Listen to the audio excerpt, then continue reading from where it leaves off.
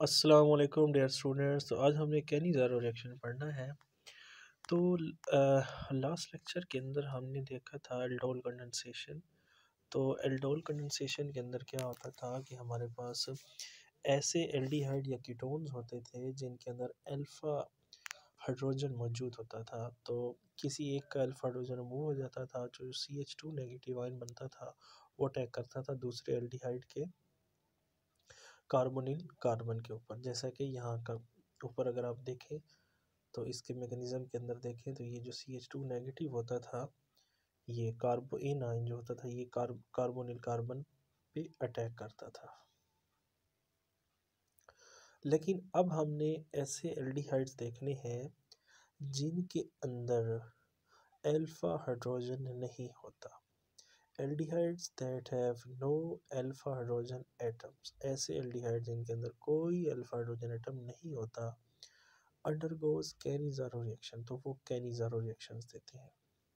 तो अगेन मैं देखना चाहता हूँ कि हमारे पास ऐसे एल्डिहाइड हैं जिनके अंदर अल्फ़ा हाइड्रोजन नहीं होता। तो वो कैसे रिएक्ट करते हैं? तो एक बात कि आपके पास जो भी कीटोन होगा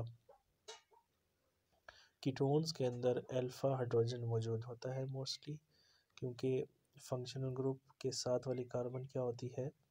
अल्फ़ा कार्बन और उसके ऊपर मौजूद जो हाइड्रोजन होते हैं, उनको हम क्या कहते हैं अल्फ़ा हाइड्रोजन तो कैनी ज़ारो रिएक्शन के अंदर सबसे पहली बात आपने क्या याद रखनी है कि इसके अंदर सिर्फ़ और सिर्फ़ आपके पास एल्डिहाइड्स होंगे, कीटोन्स नहीं होते। तो ऐसे एल्डिहाइड जिनके अंदर अल्फ़ा हाइड्रोजन एटम नहीं होता। वही कैनी ज़ारो रिएक्शन देते हैं। तो होता क्या है, एक, दो ऐसे एल्डिहाइड्स होते हैं, जिनके अंदर अल्फ़ा हाइड्रोजन नहीं होता। दोनों के दोनों आपस में रिएक्ट करते हैं एन की मौजूदगी में सोडियम हाइड्रोक्साइड की मौजूदगी में, और एक ऑक्सीडाइज हो जाता है और एक रिड्यूस हो जाता है। तो इसको हम कहते हैं सेल्फ ऑक्सीडेशन रिडक्शन रिएक्शन कि दो एल्डिहाइड हैं, दोनों के दोनों के अंदर अल्फ़ा हाइड्रोजन मौजूद नहीं है। एक ऑक्सीडाइज हो जाता है और दूसरा रिड्यूस हो जाता है। अगेन बता रहा हूँ, एक ऑक्सीडाइज हो जाता है और दूसरा रिड्यूस हो जाता है। तो अगर आप यहाँ पर देखें कि आपके पास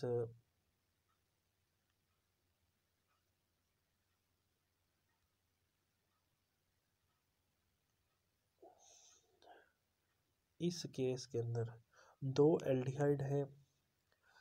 सोडियम हाइड्रोक्साइड डाला हमने, एक एल्डिहाइड रिड्यूस होकर मतलब इसके अंदर हाइड्रोजन ऐड हो गए हैं। पहले ये क्या था? Just C H O H अब क्या हो गया है? दो हाइड्रोजन ऐड हो गए हैं, यहाँ पर भी। तो ये क्या बन गया? C H three O H तो दो हाइड्रोजन ऐड हुए तो इसकी क्या हुई है? रिडक्शन तो जो रिड्यूस हुआ है, वो अल्कोहल में कन्वर्ट हो जाएगा। और जो ऑक्सीडाइज हुआ है मतलब जो पहले था just C H O H मतलब इसके अंदर से आपने क्या करना है? इस हाइड्रोजन की जगह एक और ऑक्सीजन ऐड कर देंगे तो ये बन जाएगा H C double one O O और इसके साथ क्या लगा देंगे? सोडियम आप।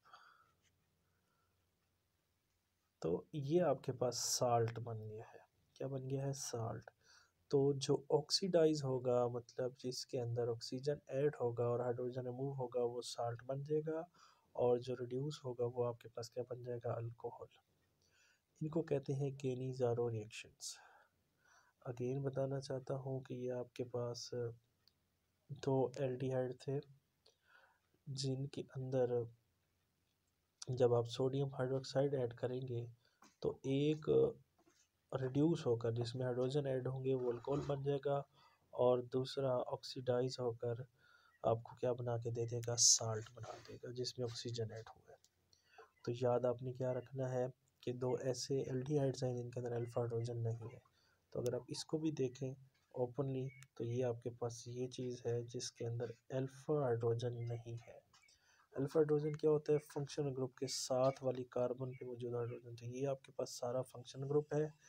यहाँ पर अगर कोई कार्बन होती, उस पर मौजूद हाइड्रोजन अल्फ़ा होता, लेकिन यहाँ पर कार्बन ही नहीं है। सिर्फ़ हाइड्रोजन है तो ये अल्फ़ा हाइड्रोजन नहीं कहलाएगा।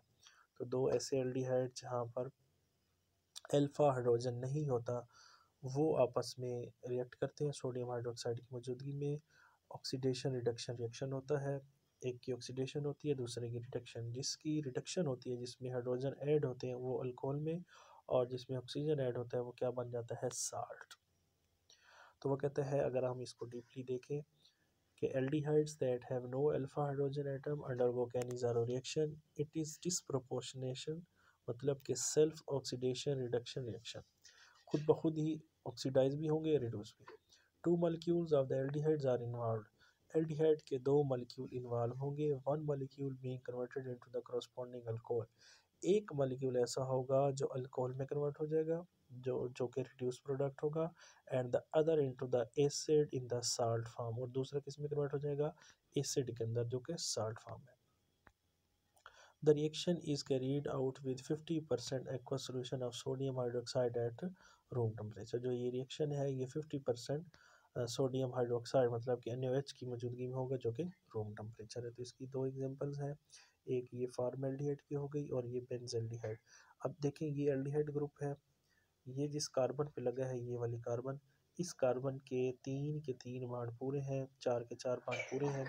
तो इसके ऊपर कोई हाइड्रोजन मौजूद नहीं है। तो ये अल्फ़ा कार्बन तो है, लेकिन अल्फ़ा हाइड्रोजन मौजूद नहीं है। तो ऐसे एल्डिहाइड जिन पे अल्फ़ा हाइड्रोजन नहीं होती वही ऑक्सीडाइज और रिड्यूस होकर क्या बनाते हैं? अल्कोहल और साल्ट बनाते हैं। तो ये एन डालेंगे, दो आपके पास एल्डिहाइड है। एक अल्कोहल में कन्वर्ट हो जाएगा, जिसके अंदर रिडक्शन होगी, जिसमें हाइड्रोजन ऐड होंगे। तो इसमें दो हाइड्रोजन ऐड हुए हैं तो ये C H two O H बन गया है। तो अगर आप गौर से देखें, ये सी एच ओ था, इसमें दो हाइड्रोजन ऐड हो तो ये क्या बन जाएगा? C H two O H एक इस हाइड्रोजन के साथ और एक इधर ऐड हो जाएगा। तो आपके पास ये क्या बन जाएगा? अल्कोहल बेंजाइल अल्कोहल इसके बाद आपके पास है सोडियम बेंजोएट तो ये आपके पास सोडियम है साल्ट और ये बेंजीन है तो सोडियम बेंजोएट बन जाएगा. तो इसके अंदर बेसिकली क्या हुआ है अगर आप देखें? इसके अंदर तो हुई है रिडक्शन इसकी रिडक्शन हुई है, इसमें हाइड्रोजन ऐड हुए हैं, और इसके अंदर ऑक्सीजन ऐड हुआ है. हाइड्रोजन की जगह आपके पास क्या आ गए दो ऑक्सीजन आ गए हैं। तो आपके पास एक ऑक्सीजन पहले से मौजूद था, एक और आ गया है। तो इस हाइड्रोजन को रिमूव करके अगर आप इसकी जगह भी ऑक्सीजन ऐड कर दें तो ये आपके पास क्या बन जाएगा? सोडियम बेंजोएट तो ये आपके पास साल्ट क्योंकि ये एन था तो ये सोडियम आपके पास यहाँ पर अटैच हो जाएगा। तो आगे हम इसका मैकेनिज़्म देखते हैं। जस्ट आपने इसकी रिएक्शन में यही देखना है कि दो ऐसे एल्डिहाइड्स होंगे जिनके अंदर अल्फ़ा हाइड्रोजन नहीं होगा तो वो आपको क्या देंगे? एक अल्कोहल और दूसरा साल्ट देंगे। इसके बाद है इसका मैकेनिज़्म कि ये कौन कौन से स्टेप्स के आ, को फॉलो करते हुए ये आपको प्रोडक्ट देता है।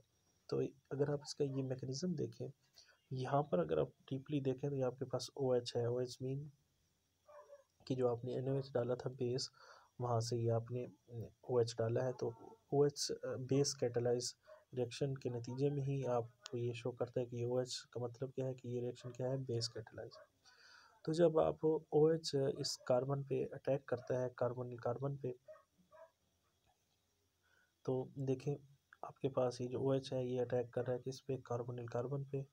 ये कार्बन पे अटैक कर गया अटैच हो गया, इसके साथ दो हाइड्रोजन पहले से थे, जो इसका डबल बॉन्ड ऑक्सीजन के साथ है, वो ऑक्सीजन के ऊपर शिफ्ट हो जाएगा और ये सिंगल बॉन्ड हो जाएगा तो ये देखें ए नाइन बन गया। तो ये कार्बन है, इसके साथ दो हाइड्रोजन मौजूद हैं। और ये आपके पास क्या है? ओ OH तो ये आपके पास ए नाइन बन गया है। एक्चुअल में पहले कार्बन के साथ डबल बॉन्ड ऑक्सीजन था तो ये वाला बॉन्ड इसके ऊपर शिफ्ट हुआ है तो यहाँ से क्या हो गया? इरेज हो गया तो ये सिंगल बॉन्ड हो गया, जब वो उसके साथ अटैच हो गया। अब होगा क्या? आपके पास दो एल्डिहाइड थे। एक ये था और एक ये। तो एक एल्डिहाइड पे तो बेस का ओ OH अटैक करके ए बन जाएगा। दूसरे एल्डिहाइड पे ये जो ए नाइन था, इसका हाइड्राइड आइन अटैक करेगा। क्या अटैक करेगा? हाइड्राइड आइन तो the anion transfers hydride ion to a second molecule of formaldehyde तो हाइड्राइड आयन जो एच नेगेटिव है, ये अटैक करेगा कार्बोनिल कार्बन पे। और फिर इसका अगेन जो है ना डबल बॉन्ड कार्बन वाला ऑक्सीजन के साथ ये सिंगल में कन्वर्ट हो जाएगा। तो यहाँ पर अगर आप गौर से देखें, ये आपके पास C H H double bond O था तो ये हाइड्रोजन इस पर अटैक करके क्या बन गया? सी एच थ्री और ऑक्सीजन के साथ क्या हो गया? सिंगल बॉन्ड तो ये C H three O negative मतलब कि ये आपके पास C H three O negative हो गया। तो ये सी एच टू ओ था, लेकिन यहाँ पर क्या बन जाएगा? C H three O negative oxygen के साथ डबल की बजाय सिंगल बॉन्ड हो जाएगा हाइड्रोजन इधर चला जाएगा तो ये तीन हाइड्रोजन और ओ नेगेटिव मतलब कि आपके पास मेथक्साइड आयन बन जाएगा। इसके बाद ये जो डबल बाड था, ये स्टेबल होने के लिए ऑक्सीजन के ऊपर वाला जो बाड था, ये शिफ्ट हो जाएगा इसके ऊपर, क्योंकि कार्बन हमेशा चार बाड बनाता है तो ये आपके पास ऐसे बन जाएगा C double bond H O H. तो ये सिंगल वाला डबल बॉन्ड शिफ्ट होकर ये बन जाएगा तो ये आपके पास क्या बन गया? एसिड और ये आपके पास क्या बन गया? मेथोक्साइड अब अगले स्टेप में क्या होगा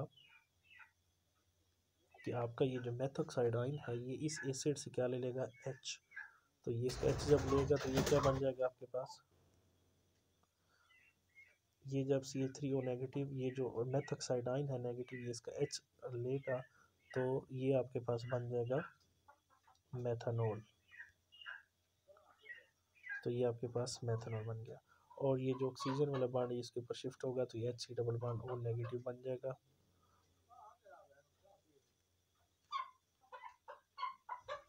इस केस में तो जब आप इसको, एक आपके पास अल्कोहल बन गया, जो हमने बनाना था, यहाँ पर और ये आपके पास क्या है H C double one O negative ये आइन है, ये जब इसको सोडियम एन से मतलब गुजारेंगे सोडियम हाइड्रोक्साइड से।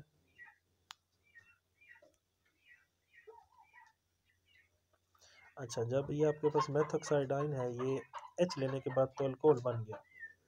और जो आपके पास ये फार्मिक एसिड का आइन होगा, जब आप इसको एन से गुजारेंगे ये ओ नेगेटिव इस एन ए पॉजिटिव पे अटैक करके ये ले लेगा तो ये आपके पास क्या बन गया? साल्ट और ओ एच आपके पास क्या हो जाएगा? लेदा तो हमारे पास एल से बनने वाली दो ही चीज़ें थी, एक था अल्कोहल और दूसरा था आपके पास साल्ट ये अल्कोहल आ गया और ये आपके पास क्या है? साल्ट